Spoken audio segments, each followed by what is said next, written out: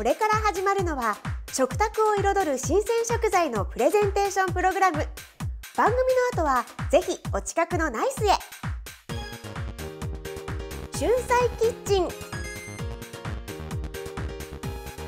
この番組はいい暮らし届けたいナイスがお送りします。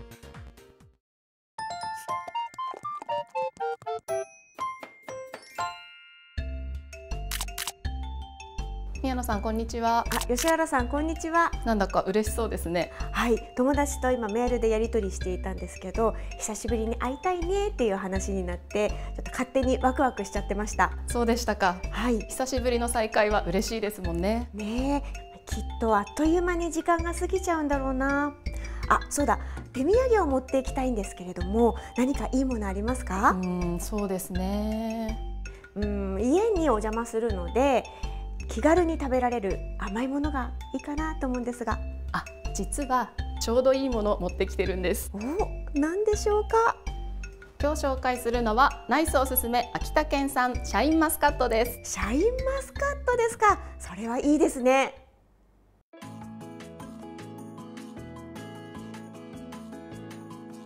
うんシャインマスカット。これはお土産にしたら喜ばれること間違いなしですね。そうだと思います2006年に品種登録されてから瞬く間に人気のブドウになったシャインマスカット。秋田県では横手エリアを中心に栽培が進んでいます。へえそうなんだ。以前はスチューベンやナイアガラなどが多かったそうですがここ最近はこのシャインマスカットの栽培に力を入れているそうです。こんなに立派なブドウどうやって作るんですかね。すごいですよね大きさの揃った粒スイーツのような甘さシャインマスカットの美味しさは生産者さんの努力の賜物ですよね。ということで宮野さんご試食どうぞ。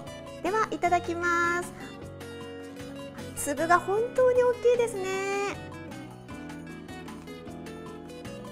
とってもジューシーで爽やかな甘さがたまりませんよね。